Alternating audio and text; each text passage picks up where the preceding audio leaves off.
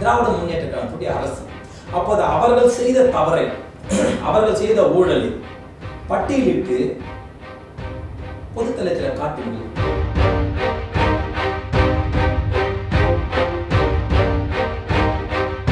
அந்த கோமாளி அந்த கேடு கட்டணும் அந்த பச்சோந்தி அந்த மனித மிருகம் என்ன பேசிட்டார் தெரியுமா?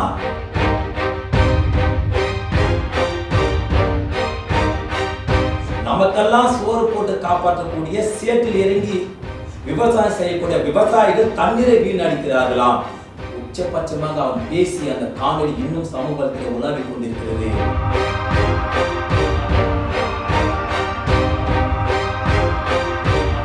தேப்பையாண்டு சொன்னார். கைடா தேப்பையாண்டு இன்னும் அந்த வசனம் சமூகத்தில் உலாவிக் கொண்டிருக்கிறது. அது மட்டுமல்ல இன்னும் தகாத வார்த்தையில் பேசியிருக்கிறார். எது கருத்து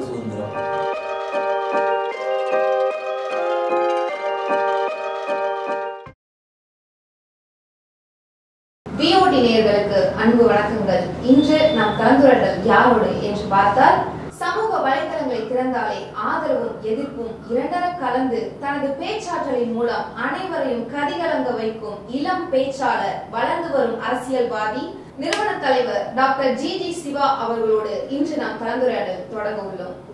ஐயா வணக்கம் ஐயா. பிஓடி நேர்களுக்கும் தேசிய முன்னேற்ற காலத்துடைய தோழர்களுக்கும் என்னுடைய அன்பு கலந்த பணிவான வணக்கம். மாரிதாஸ் அவர்கள் மேல உங்களுக்கு ஏன் இவ்வளவு கோபம் இருக்கு? அந்த யூடியூபர் மாரிதாஸ் அவர்கள் மீது எனக்கு ஏதும் தனிப்பட்ட முறையில் கோபம் அல்ல. என்னுடைய கோபங்கள் இது தனி மனிதனுடைய கோபமாக பார்க்கக்கூடாது இது ஒட்டுமொத்த இந்த சமூகத்தை குறிப்பாக தமிழ்நாட்டு மக்களை நேசிக்கக்கூடிய அந்த உணர்வாளருடைய கோபத்தை தான் நான் இன்று வெளிக்காட்டிக் கொண்டிருக்கிறேன். நான் கேட்பது உங்களுக்கு ஒரு விமர்சனம் வைக்கக்கூடிய அந்த தகுதி. அல்லது அந்த எண்ணங்கள் இந்த மக்கள் மீது அந்த சமூகத்தின் மீது தமிழ்நாட்டினுடைய மாநிலத்தின் ஒரு அக்கறை இருந்தால் இங்கே யார் இப்போது இருக்கக்கூடிய அரசு திராவிட முன்னேற்ற கழகத்துடைய அரசு அப்போது அவர்கள் செய்த தவறை அவர்கள் செய்யக்கூடிய ஊழலை அப்படி இருந்தால் அவர்கள் ஏதும் செய்யவில்லை உங்களுக்காக சொல்லுகிறேன்.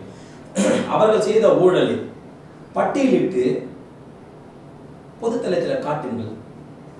அங்கு பொதுத்தளத்தில் காட்டி மக்கள் மத்தியில் இருக்கக்கூடிய அந்த ஆதரவு எதிர்ப்பும் நீங்கள் கண்கூட பாருங்கள்.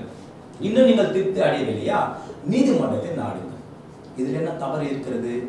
அதை விடுத்து புள்ளி விவரத்தை பேசுகின்ற போது மக்கள் நம்புவார்கள் என்கின்ற ஒற்றை காரணத்தை மையமாக வைத்துக் கொண்டு நீங்கள் ஒரு போர்டை வைத்து விட்டு நீங்கள் அதில் புள்ளி விவரத்தை சொல்லுகிறேன். தெரிகிறதா புரிகிறதா என்று அப்பாவி இளைஞர்களை தன் வசம் படித்துக் கொண்டு குறிப்பாக இந்து இளைஞர்களை ஒரு பொய்யான ஒரு வட்டத்தில் கொண்டு வந்து நீங்கள் அதற்கு கேடயமாக பயன்படுத்தி விட்டு யாரையோ எவரையோ குளிர் காய்விப்பது காய்விப்பதற்காக இது போன்ற பொய்யான புள்ளி விவரத்தை செய்து கொண்டு ஏன் சென்ற ஆட்சி அதிமுக அரசு இருக்கின்ற போது அவர்களுக்கு ஜால்ரா அடித்து விட்டு ஒத்து ஊதிவிட்டு இதே மதிப்பிற்குரிய மு க ஸ்டாலின் அவர்களை உடல் மொழியை வைத்து எவ்வளவு கொச்சப்படுத்தினார் உங்களுக்கு அனைவருக்கும் தெரிந்ததுதான். இதுதான் இதற்கு பெயர் தான் கருத்து சுதந்திரமா? பாரதிய ஜனதா கட்சியோ அல்லது ஆதரித்து பேசக்கூடிய சங்கர சங்கங்களை கேட்டால் மாறிதால் பேசுவது இந்த மக்களுக்கான பேச்சு. ஏன் தமிழகத்திலே கருத்து சுதந்திரம் இல்லையா? குரல்களை நெரிப்பது சரியா என்று கேட்கிறார் எது கருத்து சுதந்திரம்? மதிப்பிற்குரிய முதல்வர் அவர்களை வாயை வைத்து கூட கேலியின் கிண்டலமாக பேசி ஒரு காணொலி வெளியிட்டார்கள் பணம் சம்பாதிக்கூடிய இந்த கேவலமான செயலை செய்துவிட்டு எதுக்கு பேர் கருத்து சுதந்திரம் என்று சொன்னால் அண்ணா பெரியார் காலத்தில் இருந்து மதிப்புக்குரிய எம்ஜிஆர் காலத்தில் இருந்து மறைந்த அம்மையார் ஜெயலலிதா வரைக்கும் பேசினார்களே. மறைந்த தலைவர்கள் அதுக்கு பேர் கருத்து சுதந்திரம். ஆனால் இந்த கருத்து சுதந்திரத்திற்கு நீதிமன்றம் எந்த ஒரு எதிர்ப்பும் தெரிவிக்கவில்லை. இந்த இந்த வழக்கையே வந்து நீதிமன்றம் வந்து தள்ளுபடி செய்துவிட்டது அதை நீங்க எப்படி பாக்குறீங்க? மாநில அரசு மாரிதாஸ் மீது போடப்பட்ட அந்த வழக்கு முற்றிலும் நீதிமன்றம் தள்ளுபடி செய்யவில்லை. இரண்டு வழக்குகள் தள்ளுபடி செய்ததாக பத்திரிகை செய்தி மனம் வந்திருக்கிறது. மொத்தத்தையும் முழுமையாத வழக்கில் தள்ளுபடி செய்யவில்லை. அது மட்டுமல்ல சேட்டலைட் சேனல்கள் அப்போ அந்த தொலைக்காட்சிகளுக்கும் யூடியூபுக்கும் வித்தியாசம் வெவ்வேறு உண்டு. இன்னும் யூடியூப் சேனலில் பேசக்கூடிய அந்த காரணங்களுக்காக முழுவதுமாக தண்டிக்கப்படக்கூடிய அந்த முகாந்திரம் அதாவது வழக்குகள் அதனுடைய ஆக்ட் இன்னும் சரிவர ஈற்றப்படவில்லை பாராளுமன்றத்திலே. அதை வைத்து தான் இவர்கள் தப்பிக்கிறார்களே ஒழிய இவர்கள் முற்றிலும் அதற்கான அங்கீகாரத்தை பெறக்கூடிய வகையில் யூடியூப் சேனலுக்கு இந்தியா முழுக்க ஒரு கட்டமைப்பை அரசு கீழ் கொண்டு வந்தால் பாராளுமன்றத்தில் ஒரு சட்டத்தை ஈட்டினால் இது போன்ற நயவஞ்சகர்கள் இது போன்ற நாடக நடிகர்கள் இது போன்ற பச்சோந்திகள் இனி வரும் காலங்களிலே சமூக வலை இது போன்ற கேடுகட்ட வார்த்தையை பதிவு வன்மத்தை காக்கக்கூடிய வகையில் பேசுவது முற்றிலும் குறைவாக இருக்கும் என்பது எங்களுக்கு போன்ற கருத்து. ஆனால் மாணிதாஸ் அவர்கள் பதிவு செய்த கருத்துக்கள்ல வன்மத்தை தூண்டும் வகையில எந்த ஒரு கருத்துமே பதிவிடலாம் ஆனா நீங்க பேசும்போது கோவத்துல வந்து அவங்கள வந்து திட்டி வந்து நீங்க பதிவு போடுறீங்க. சோ நீங்க வந்து வன்மத்தை தூண்டுற வகையில பேசுறீங்களா? என்னுடைய அன்பு சகோதரிக்கு ஒரு பணிவான வேண்டுகளை வைத்தே நான் தொடர்ந்து பேசி வருகிறேன். இப்போது நிகழ்ச்சி ஆரம்பத்தில் இருந்து.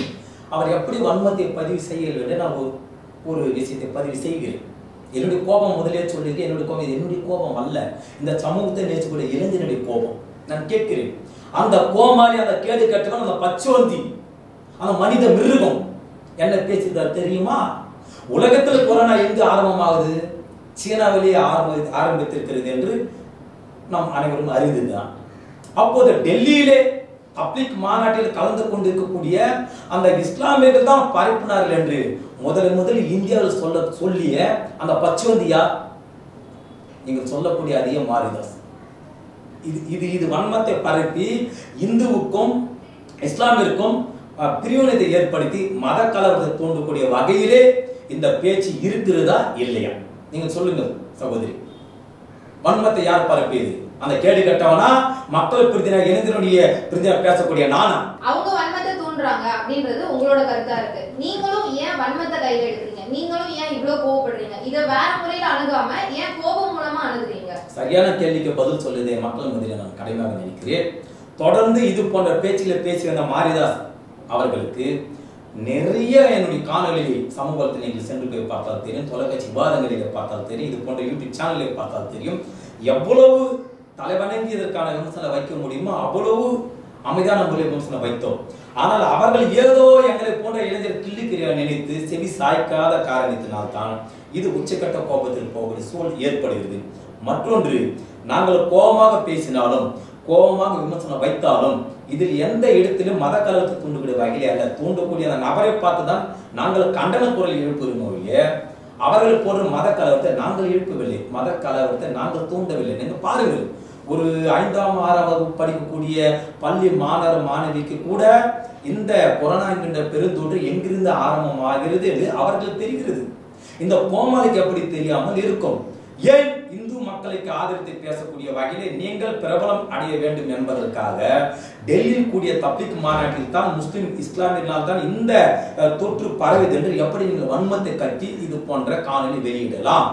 இது தவறா தவறு இல்லையா ஒருவேளை இந்து இருக்கக்கூடிய இந்துக்கள் சொந்தங்கள் அனைவரும் வெகுண்டெழுந்து ஐயோ இவர்களால் தான் நம்முடைய குழந்தைகளுக்கும் குட்டிகளுக்கும் மனைவிக்கும் அண்ணன் தங்கச்சி சகோதரிக்கும் மிகப்பெரிய உயிருக்கு சேதாரம் ஏற்படுத்தக்கூடிய வகையிலே இந்த பெருந்தொற்றை கொண்டு வந்து சேர்த்தார்கள் என்று வெகுண்டெழுந்திருந்தால் எத்தனை இஸ்லாமிய அப்பாவி மக்கள் இங்கு கொன்று குவித்திருப்பார்கள்? அப்போது இது போற கலவரம் மூட்டி இருந்தால் மூண்டு இருந்தால் இந்த மாரிதாசனோட பச்சோந்தி அவர்கள் உயிரை எடுத்து விடாமல் என்னுடைய உயிரை எடுத்துக்கொள் என்று கழுத்தை நீட்டியிருப்பாரா பொதுமக்கள் மத்தியில. மாரிதாசோட உள்நோக்கம் என்னவென்று நீங்க சொல்றீங்க? மத கலவரத்தை தூண்டணும் மத்தவங்களோட கோபத்தை தூண்டணும் அப்படிங்கிறது தான் அந்த கோபத்துக்கு ஏன் நீங்க ஆளாகுறீங்க? நீங்க ஏன் இவ்ளோ கோவப்படணும்? அவங்களோட உள்நோக்கம் மத்தவங்களை கோவப்படுத்தி பார்க்கணும் அப்படிங்கிறதுக்காக இந்த மாதிரி கருத்துக்களை தொடர்ந்து முன் வச்சிட்டு இருக்காங்க. நம்ம ஏன் அதே கோவத்தை வந்து அவங்களுக்கு நாம நீங்க பண்றதுனால நாங்க கோவப்படுறோம் அப்படின்னு நீங்க ஏன் அந்த கோவத்துக்கு ஆளாகணும் என்னுடைய அன்பு சகோதரி நீங்க கேட்கக்கூடிய கேள்விகள் நூற்றுக்கு நூறு உண்மையான விஷயம் தான் நியாயமான கருத்தும் தலைவனுக்கு. ஆனால் இதில் ஒரு வேறுபாடு உண்டு. அப்படின்னு சொன்னால் உங்களை போன்றுடைய இன்னும் நிறைய தோழர்கள் ஆண்களாக இருக்க பெண்களாக இருக்கும் விழிப்புணர்வு அடைந்து இருக்கக்கூடிய இந்த சமூகத்தில் மக்கள் மிகவும் குறைவு. ஒரு செய்தியை தொடர்ந்து நீங்கள் பரப்பிக்கொண்டே இருங்கள். பொய்யான செய்தியை இன்னமும் அது உண்மையை நம்பக்கூடிய மக்கள் அதிகமாக இருக்கிறார்கள். அப்போது இது போன்ற ஒரு காணொலியை நம்பி களத்தில் இறங்கினால் அப்பாவின் மக்கள் நிலைமை சிந்தித்து பார்த்தீங்களா சரி இது ஒரு பிறகு இருக்கட்டும். அதோடு மட்டும் நிற்கவில்லை. கொக்கக்கலா தொழிற்சாலையில் ஆஹ், ஒரு நாளைக்கு பல லட்சம் லிட்டர் தண்ணிகளை மோட்டார் கனரக மோட்டார்களை வச்சு ராட்சத மோட்டார்களை வைத்து அவர்கள் இழுத்து வெளிநாட்டுகளுக்கு இங்கே சப்ளை செய்கிறார்கள் அந்த பாரத்தில் இந்த கேடுகட்ட மாறிய என்ன தெரியுமா சொன்னார்? இந்த பல லட்சம் நீரை உறிஞ்சி வெளிநாட்டில் வியாபாரம் செய்யக்கூடிய அந்த தொழிற்சாலைக்கு ஆதரவாக பேசிவிட்டு அந்த நீரை உறிஞ்சுவது அது தவறு இல்லையாம். நமக்கெல்லாம் சோறு போட்டு காப்பாற்றக்கூடிய சேற்றில் இறங்கி விவசாயம் செய்யக்கூடிய விவசாயிகள் தண்ணீரை வீணடிக்கிறார்களாம். உச்சபட்சமாக அவன் பேசி அந்த காணொலி இன்னும் சமூகத்தில் உலாவிக் கொண்டிருக்கிறது. விவசாய நிலத்தை கற்பழிக்கிறார்களாம். உலக அளவிலே விவசாயத்தை மையமாக வைத்து எத்தனையோ நாடுகள் இயங்கிக் கொண்டிருக்கிறது வளர்ந்து கொண்டிருக்கிறது. எந்த நாட்டிலும் இது போன்ற ஒரு கேவலமான கீழ்த்தரமான பதிலை விவசாயியை பார்த்து வன்மத்தை கக்கக்கூடிய வார்த்தைகளை உங்கள் வாழ்நாளில் இந்த பொது பொதுத்தளத்திலே பத்திரிகைகளில் ஓடிகளை நீங்கள் கேள்விப்பட்டிருக்கிறீர்களா? அந்த விஷமான வார்த்தையை விவசாய நிலத்தை கற்பழிக்கிறார்கள் என்று சொல்லக்கூடிய அந்த காணொளி மாரிதாஸ் பேசிக்கான இன்னமும் சமூகத்தில் உலாவி வந்து வந்து கொண்டிருக்கிறது.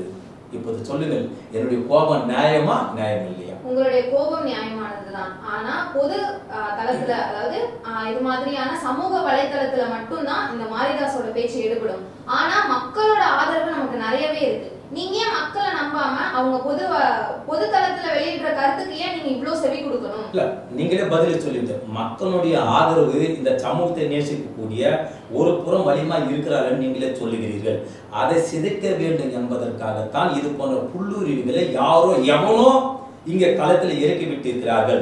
ஆகவே இதை தடுத்து நிறுத்த வேண்டும் என்று நாங்கள் சில நாட்களாக குறிப்பாக ஒரு ஒரு இரண்டு மூன்று வருடங்களுக்கு மேலாக தொடர்ந்து இதற்கு கண்டனம் தெரிவித்து வந்திருக்கிறோம் இந்த கண்டனத்துக்கும் செவி சாய்க்காத காரணத்தினால்தான் ஒட்டுமொத்த மக்களுடைய கோபத்தை தான் எங்களுடைய வெளிப்பாடாக நாம் காட்டி வருகிறோம்.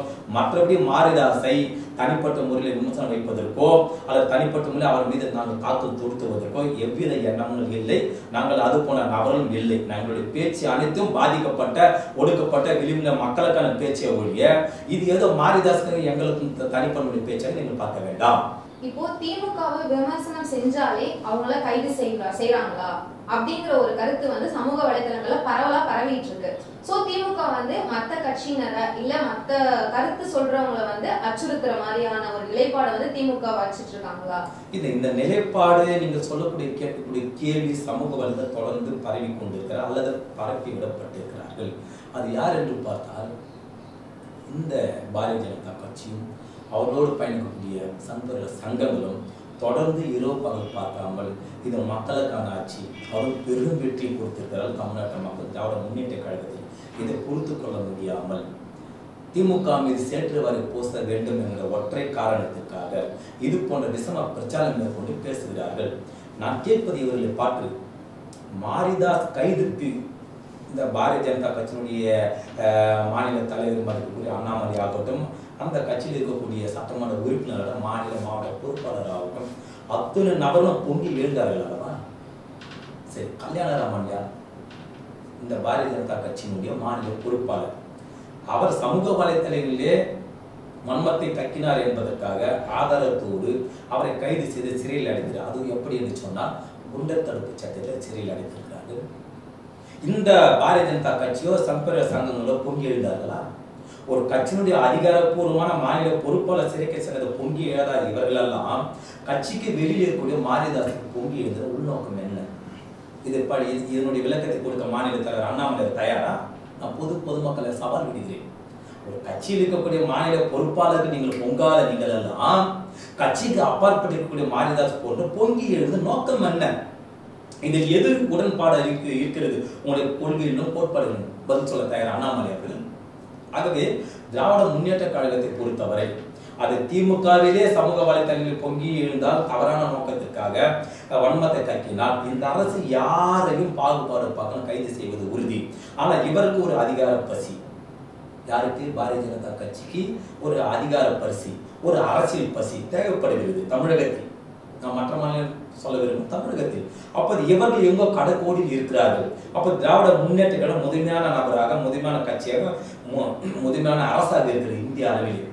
அப்போது வன்மத்தை கட்டி பழுத்த மாறிக்கெல்லாம் கல்லடி கிராமத்தில் ஒரு பழம். அது போல இவர் திராவிட முன்னேற்ற கழகத்திலிருந்து சேற்றுவாரி சேற்று பூசி இவர்களை வளர்வதற்காக இது போன்ற வன்மத்தை கக்குகிறார்கள் யார் தவறான செயலை சமூக வலைத்தில் மட்டுமல்ல பொதுத்தளத்தை எவரும் கையில் எடுத்தாலும் திராவிட முன்னேற்ற கழகத்தினுடைய அரசு மக்களுக்கான அரசு அத்தனை பேர் மீது நடவடிக்கை எடுக்கும். இது யாருக்கும் மாற்று கருத்தில் வேண்டாம்.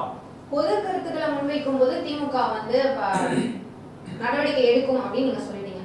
திமுக ஆட்சியை பத்தி யாரும் எந்த விமர்சனமும் வைக்க கூடாதா?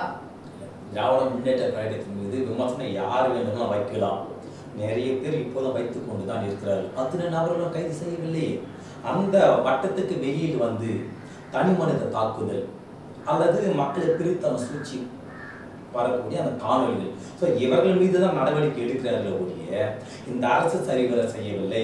அரசு சரிவர இயங்கவில்லை என்று பத்தொன்பதாக வைக்கக்கூடிய குற்றச்சாட்டு கூட தலைவணிந்த அத்தனை நபரும் இதற்கு பதிலுக்கு விளக்கத்தை கொடுத்து தானே இருக்கிறார்கள். இதிலே தான் தவறு எதுவும் இல்லை.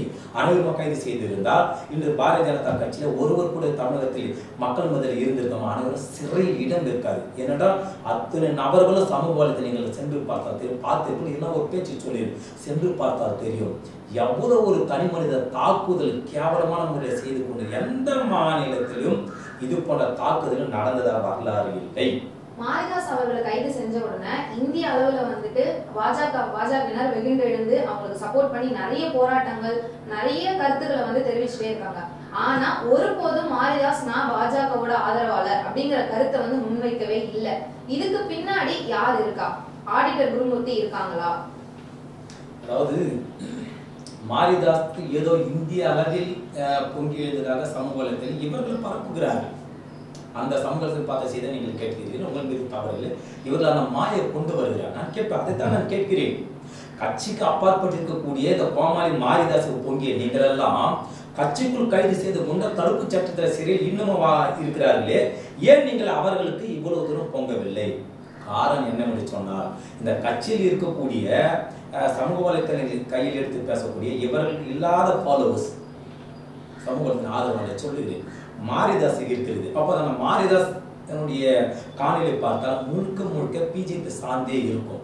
ஆகவே தான் அவரை நாம் விட்டுவிடக் கூடாது என்பதற்காகத்தான் இவ்வளவு பேர் பொங்குகிறார்கள். இதுதான் உண்மை. இதில் ஆடிட்டர் குருமூர்த்தியினுடைய பங்கு இருக்கிறதா? இல்லையா என்று இந்த அளவுக்கு இது வரைக்கும் ஒரு வலிமையான ஒரு தகவல் வரவில்லை. ஆனால் ஏற்கனவே இருந்த அதிமுக அரசுக்கு ஆதரவாக தான் செயல்பட்டார் என்று அவரே பேட்டி கொடுத்திருக்கிறார். என்று சொன்னால் ஓபிஎஸ் மதிப்புக்குரிய ஓபிஎஸ் அவர்கள் கூட நீ ஆம்பளையாண்டு கேட்டதாக கூட அவரே தன் வாயில் சொல்லியிருக்கிறார். அதுக்கு ஆதாரம் இருக்குது. ஆதாரம் இல்லாத குற்றச்சாட்டு பேசுவது இயல்பாக இருக்கிறார் பத்திரிகையாளர் சந்திப்பின் போது ஹெச் ராஜாவாக இருக்கட்டும் இல்ல பாஜகவோட முக்கிய தலைவர்களா யாராக குறிப்பா சன் டிவி குழுமத்தினர்ல இருந்து எந்த ஒரு பத்திரிகையாளர் சென்றாலுமே அவங்க கூட மோதல் போக்கிலேயே இருக்காங்க. இதுக்கு என்ன காரணமா இருக்கும் நீங்க நினைக்கிறீங்க? அதைத்தான் சொல்லுகிறேன் சகோதரியே ஒரு ஆறு மாதத்துக்கு முன்பாக மாநில தலைவர் அண்ணாமலை அவர்கள் ஒரு பேட்டியை கொடுக்கிறார். இன்னும் ஆறு மாத காலத்தில் தமிழகத்தில் அத்தனை ஊடகங்களையும் நான் கட்டமைத்து என்னுடைய கண்ட்ரோலில் வைத்துக் கொள்வேன் என்று அவர் பதிவிடுகிறார். அப்போது ஆறு மாத காலம் முடிந்து அப்போது அவர்கள் எந்த தொலைக்காட்சியும் தவறான நோக்கத்திற்காக அரசியலமை அரசியலை கொண்டு போகக்கூடிய இந்த பாரதிய ஜனதா கட்சிக்கு ஆதரவாக செயல்படவில்லை. என்று சொன்ன இவர் மக்களை பிரித்தான சூழ்ச்சி கையில் எடுத்திருக்கிறார்கள் அப்போது எப்படி தொலைக்காட்சியில் இருக்கக்கூடிய அந்த தோழர்கள் இவர்களுக்கு ஆதரவாக வருவார் அப்போது இவருக்கு ஆதரவாக தமிழகத்தில் ஒரு சில ஊடகங்களை தவிர்த்து வேறு எந்த பெரிய நிறுவன ஊடகங்களும் பாரதிய ஜனதா கட்சி தூக்கி பிடிக்கவில்லை. அந்த கோபம் இருப்பதனால்தான் இவர்கள் நடுநிலையாக எந்த தொலைக்காட்சியில் இருக்கக்கூடிய தோழர்கள் கேள்வி எழுப்பினாலும் பதில் கொடுப்பதற்கு திராணி இல்லாமல் பதில் கொடுப்பதற்கு பதில் இல்லாமல் இது மடைமாற்று வேலை செய்வதற்காக அந்த பத்திரிகையாளர் மீது சீறி பாய்கிறார்கள். இது ஒரு ஆரியமான விஷயம் அல்ல. அவர்களுடைய வலிமை அவ்வளவுதான். இதுதான் நம்ம புரிந்து கொள்ள வேண்டும். அவர்களுக்கு பதில் கொடுப்பதற்கு அவர்களுக்கு சரக்கு இல்லை. பதில் கொடுப்பதற்கு அவருடைய நியாயமோ நீதியோ இல்லை. அப்போது அவர்கள் மடைமாற்று வேலை செய்வதற்காக கோபத்தை தான் கொட்டுவார்கள். அதைத்தான் அவர் செய்கிறார்கள். இது நாம் கடந்து தான் செல்ல வேண்டும். மாரிதாஸ் கிஷோர் கேசாமி இவங்களெல்லாம் வந்து காவல்துறை கைது செஞ்சுட்டாங்க. ஆனா ஹெச் ராஜா அவர்கள் வந்து மாரிதாஸ் அப்புறம் கிஷோர் கேசாமியை விட கம்பேர் பண்ணும்போது நிறைய விஷயங்களை வந்து அவதூறு வழக்குல வந்து நிறைய விஷயங்கள் வந்து அவங்க பேசிட்டு இருக்காங்க. நிருபர் கிட்ட வந்து பேசுறது முன்னாள் முதல்வர் திரு கருணாநிதி அவர்களை வந்து அவதூறு வழக்கு அவதூறா பேசுறது இந்த மாதிரி நிறைய விஷயங்கள் வந்து ஹெச் ராஜா வந்து அடுத்தடுத்து பண்ணாலும் ஹெச் ராஜாவை கைது செய்யாமல் இருக்கிறது ஏன்? திமுக ஒன்றிய அரசுக்கு பயப்படுதா? காரணம் ஹெச் ராஜா வந்து உயர்ந்த ஜாதி. அதாவது பிராமண சமூகத்தை சேர்ந்ததுனால ஒன்றிய அரசு கிட்ட இருந்து நமக்கு அழுத்தம் வரும் அப்படிங்கிற பயத்தினால ஹெச்ராஜாவை கைது செய்யாம இருக்காங்களா? அதாவது சகோதரி திராவிட முன்னேற்ற கழகத்தை பொறுத்த மட்டில் அது எந்த சமூகமாக இருக்கட்டும் தவறு யார் செய்தாலும் எவன் செய்தாலும் நிச்சயம் நடவடிக்கை எடுப்பார்கள். இவர்கள் ஆட்சிக்கு வந்த ஆறு மாத காலத்திலே எண்ணற்ற பொருளாதார நெருக்கடி சந்தித்துக் கொண்டிருக்கிறார் ஏனென்று சொன்னால் சென்ற ஆட்சியில் கடனை காலி செய்துவிட்டு போனார்கள். அப்போ இந்த கொரோனா பெருந்தொற்று மக்களை காப்பாற்றி ஆகவே நிறைய அந்த அரசு மக்கள் பணி செய்து கொண்டிருப்பதால் முழுவதுமாக தூசு தட்டி இவர்களை சிறைக்கு தள்ளுவது என்பது தற்சமயம் ஒரு சிறிய ஒரு இடைவெளி தான் வைத்திருக்கிறார்கள். அதனை இவரை விட்டு வைத்ததாக நாம் கருத்தில் கொள்ளக்கூடாது. ஏனென்று சொன்னால் இப்போ சிவசங்கர் பாபா சிறையில் இருக்கிறார். இதே இந்த அரசு தான் நடவடிக்கை எடுத்தது. மற்றொன்று மற்றொன்று பத்மசாஸ்திரி என்ற அந்த பள்ளி. எந்த அளவுக்கு உயிராட்டத்திலே இயங்கக்கூடிய பள்ளி என்று உங்களுக்கு தெரியும். என்று சொன்னால் ஆஸ்கார் விருது பெற்ற மதிப்பிற்குரிய உலகமே வீப்பில் ஆர்த்திய ஏ ரகுமான் அந்த பள்ளியை சேர்வதற்கு எந்த அளவுக்கு முயன்றார் அதற்கு பள்ளியில் இருக்கக்கூடிய அப்போது இருந்த அந்த பொறுப்பாளர்கள் பிச்சை எடுக்க சொல்லி சொன்னார் என்று ஏ ரகுமான் அவருடைய பேச்சிலே நாம் பார்த்தோம் நாம் நேரடி காணொலியில் பதிவிட்டிருந்தார். அப்போது அவர்கள் பிராமணர்கள் தானே? பத்மசாஸ்திரி நிர்வாகிகள். அப்போ அந்த பள்ளி மீது நடவடிக்கை எடுத்தார் அல்லவா இதில் வேறு என்ன கூட்டு வேண்டும் இதில் வேறு என்ன சான்று வேண்டும் ஆகவே திராவிட முன்னேற்ற கழகத்தை போட்டு யாருக்கும் அடிப்பணிந்து ஆட்சி செய்ய வேண்டிய அவசியம் அவர்களுக்கு இல்லை. என்று அவர்கள் ஏதோ புதிதாக தமிழகத்தை திடீரென மக்களால் தேர்வு செய்யப்பட்டு ஆட்சி கட்டிலே அமர்ந்திருந்தால் ஒரு அச்சம் இருக்கணும் ஒரு ஐயம் இருக்கும். இவர்கள் யாரை பற்றியும் கவலைப்படாதனால் தான் ஏற்கனவே இரண்டு முறை ஆட்சி பறி கொடுத்திருக்கிறார்கள் இது வரலாறு. அப்போது அந்த வாயின் வாயில புலிக்கு பிறந்தது பூனை ஆகுமா என்ற கேள்விக்கு பதில் கொடுக்கிற வகையிலே ஒருபோதும் மதிப்புக்குரிய மு க ஸ்டாலின் அவர்கள் யாருக்கும் அஞ்ச மாட்டார்கள். பொறுத்திருந்து பாருங்கள் இன்னும் சரவெடி காத்து கொண்டிருக்கிறது. இவர்கள் சிறைக்கு யாரெல்லாம் போவார்கள்னு ஒரு நீண்ட நெடிய பட்டியல் உண்டு அது நாம் பொறுத்திருந்து தான் வேண்டும் ஏன்னு சொன்னால் இந்த கொரோனா பெருந்தொற்று இந்த மக்களை மிகவும் பாதிப்படைய செய்து கொண்டிருக்கிறது. இப்போது இவருடைய கவனம் முதலுடைய கவனம் அவர்களை அரவணைப்பதாகத்தான் இருக்கிறது ஒழிய இந்த கழிச்சறைகளை உடனுக்குடன் பார்ப்பதற்கு அவர் நேரம் இல்லை. நாம் தமிழர் கட்சியோட தலைவர் வந்து சீமான் அவர்கள் வந்து மாரிதாஸ்க்கு ஆதரவா பேசுறாங்க. சீமானோட நிலைப்பாடை நீங்க எப்படி பாக்குறீங்க? சீமான் அவர்களுக்கும் பாரதிய ஜனதா கட்சிக்கும் இருவேறு கொள்கைகள் கிடையாது. இவர்கள் இருவரும் ஒரே புட்டில் ஒரே மட்டைகள் தான். அது மட்டுமல்ல மாரிதாஸ்க்கு ஒரு ஆதரவாக சீமான அறிக்கை விடுகிறார் இந்த ஒரு மூன்று மாத காலத்தில் தான் சீமானுடைய முழு சுயரூபம் தமிழ்நாட்டு மக்களுக்கு தெரிகிறது. ஆனால் நான் கிட்டத்தட்ட ஒரு எட்டு ஒன்பது ஆண்டுகளுக்கு முன்பாக தொடர்ந்து வலியுறுத்தி வருகிறேன். சீமான யாரும் நம்பாதீர்கள். அவர் இந்த இளைஞர் முத்தாலாக்கு வந்திருக்கக்கூடிய ஒரு நபர் என்று. ஆனால் அப்போது என்னை எல்லாம் கடுமையான விமர்சனம் வைத்தார்கள். ஏன் இந்த தம்பிக்கு அந்த அளவுக்கு அரசியல் வியூகம் தெரியவில்லை? அல்லது அரசியல் முதிர்ந்த நபராக இல்லாதனால் ஒரு பொய்யான குற்றச்சாட்டு வைக்கிறார்கள் என்று என்னிடம் விமர்சனம் வைத்தார்கள். இப்போது அவர்களே என்னிடம் தொலைபேசியில் கைபேசியில் அழைத்து வார்த்தைகள் சொல்லுகிறார். எப்படி இந்த சிறிய வயதிலே இவ்வளவு தொலைநோக்க பார்வையோடு சீமானை கண்டுபிடித்தது என்று சொல்லுகிறார்கள். அது போன்ற சீமானுடைய நிலைப்பாடு பாரதிய ஜனதா ஆர்எஸ் போன்ற நிலைப்பாடு எதுவோ அதுதான் சீமானுடைய நிலைப்பாடு. இது அது மட்டுமல்ல தமிழகத்தில் கருத்து சுந்தரம் நசுக்கப்படுகிறது என்று சீமான் சொல்லுகிறார். நான் சீமானை பார்த்து கேட்கிறேன். இதே கைபேசியிலே எதிர்த்து பேசக்கூடிய ஒரு நபருக்கு பதில் கொடுக்கிறார். கோபம் உச்சத்துக்கு சென்று நீங்கள் பெண்மணியாக இருக்கணும் அதை மூலி மறுத்து சொல்லுகிறேன். தேப்பையா என்று சொன்னார். வைடா தேப்பையா என்று இன்னும் அந்த வசனம் தமிழகத்தில் உலாவி கொண்டிருக்கிறது. அது மட்டுமல்ல இன்னும் தகாத வார்த்தையில் பேசியிருக்கிறார். எது கருத்து சுதந்திரம்? இது போன்று தேப்பையா இன்னும் தேவையில்லாத வார்த்தைகளை பேசுவது கைபேசியில அது சமூகத்தில் பரவிடுதான் கருத்து சுதந்திரமா? ஏன் அவருடைய கட்சியிலே அந்த சாட்டை துறைமுறை என்ற சாக்கடை துறைமுறை சிறை சிறைக்கு சென்றாரு? அவர் ஒரு ஒரு ஒருவனிடம் சமூகத்தில் பேசி ஒருவரிடம் எவ்வளவு பெண்களை பெண் உறுப்புகளை பச்சைப்படுத்தி பச்சை பச்சை அங்கம் அங்கமாக பேசினாரே. சாத்திய திருமரன் அதற்கு வக்காலத்து வாங்கி இந்த கேடுகட்ட சீமான் அவர்கள் ஆதரவாக பேசுகிறார் சாட்டிய திருமருகனுக்கு இதுதான் கருத்து சுதந்திரமா? சொல்லுங்க. ஆகவே இவர்களெல்லாம் ஒரு அணியிலே இருக்கிறார்கள். இதற்கு முன்பாக பிஜேபிக்கு இவங்க சம்மந்தில்லாத போல ஒரு மாய தோட்டத்தில் இருந்தார் இப்போது மக்கள் கண்டுபிடித்து விட்டார்கள். கண்டுபிடித்த பிறகு ஏன் நாம் மறைக்க வேண்டும் என்பதற்காக சீமான் நேரடியாக பொதுத்தளத்தில் பாரதிய ஜனதா கட்சிக்கு ஆதரவாக வருகிறார். இதுதான் உண்மை. மாரிதாஸ் கைது செய்யப்பட்ட உடனேயே ரொம்ப சீக்கிரமாவே வந்து அந்த வழக்கு வந்து முடிஞ்சுது. காரணம் நீதிபதி அவர்கள் வந்து பாஜகவோட ஆதரவாளர் அப்படிங்கிற ஒரு விஷயமும் சமூக வலைதளங்கள்ல பரவலா பரவிட்டு இருக்கு. அதை பத்தி உங்களோட கருத்து என்ன?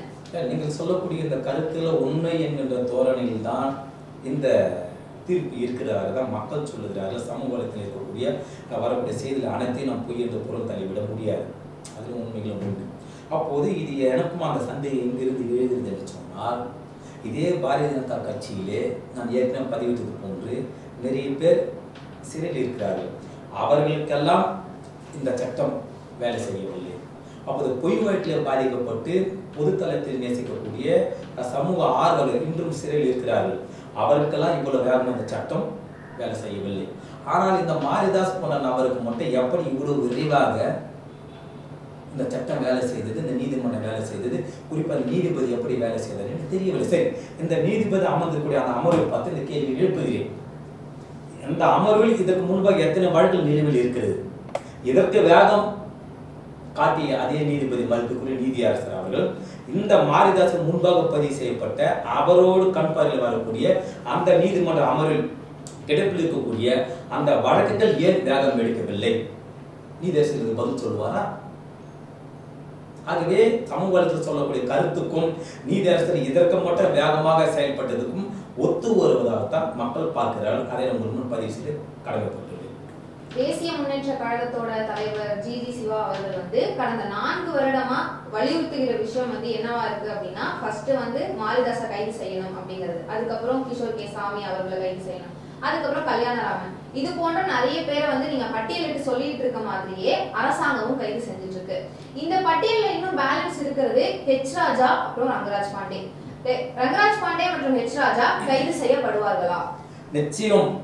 இந்த தமிழ்நாட்டு மக்களை முட்டாளாக்கி தமிழ்நாட்டு மக்களை பிரித்தன சூழ்ச்சி யார் கையில் எடுத்தாலும் இந்த அரசு மக்களுக்கான அரசு என்பதனால்தான் பத்து ஆண்டு காலத்திலே கடைசியாக நான்கரை வருடம் இபிஎஸ் அவருடைய தலைமையில் அந்த ஆட்சி நடந்தது. இந்த நான்கரை வருடம் தான் உச்சத்துக்கு சென்றார்கள். நான் சொல்லக்கூடிய மாரிதாஸ் ஆகட்டும் கிறிஸ்துவ சாமி ஆகட்டும் கல்யாணராமன் இந்த நான்கு வருடத்தில் தான் இவர்களுடைய வன்மம் சமூக உச்சமாக இருந்தது.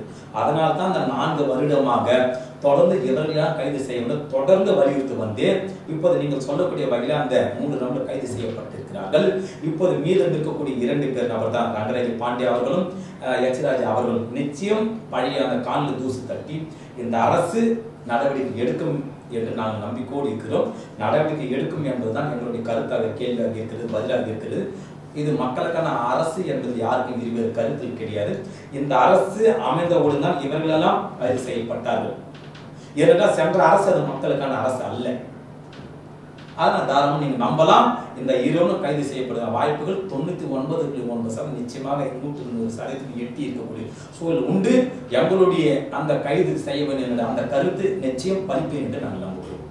இவ்வளவு நேரம் உங்களோட கலந்துரையாடல மிக மகிழ்ச்சி. மீண்டும் இதே போன்ற ஒரு அரசியல் நிகழ்வுல உங்களை சந்திக்கும் வரை உங்களிடமிருந்து விடைபெறுகிறேன். நன்றி. வாய்ப்பளித்த தோழர்களுக்கு என்னும்